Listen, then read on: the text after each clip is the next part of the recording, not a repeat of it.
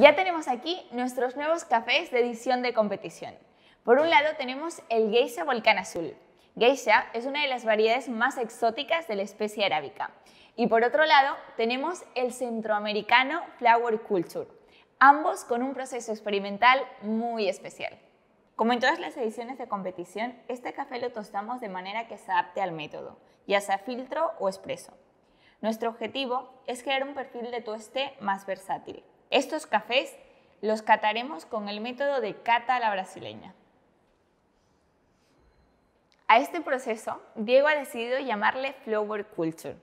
Resulta que en Aquiares ocurren floraciones esporádicas. Se trata de un fenómeno natural debido a las lluvias influenciadas por el Caribe. Su equipo ha detectado una oportunidad en este fenómeno, pues resulta que estas flores contienen un alto contenido en levaduras que se alimentan del néctar de estas. Lo que ha hecho el equipo de Aquiares es coger estas flores recién abiertas con un alto contenido de levaduras y separarlas para de esta manera poder generar eh, un cultivo microbiano.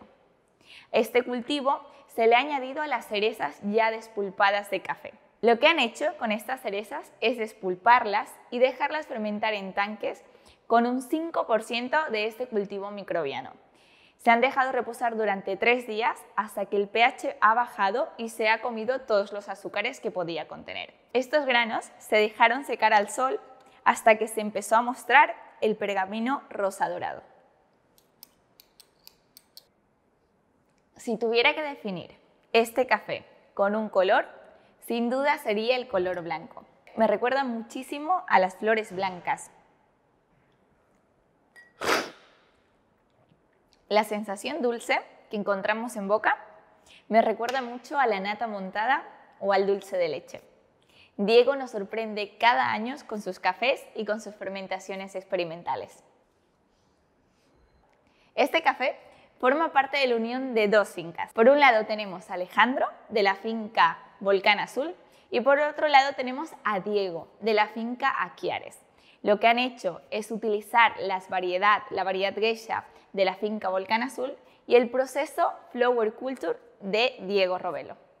Se trata de un lote muy pequeño, exclusivo para Nomad, y no queremos que te quedes sin poder probarlo. Las cerezas fueron recolectadas en el mes de febrero en la finca Volcán Azul y luego se colocaron en unos tanques bajo condiciones anaeróbicas con el inóculo de las flores del cafeto de la finca Aquiares. A estas cerezas se le realizó una fermentación controlada durante 7 días.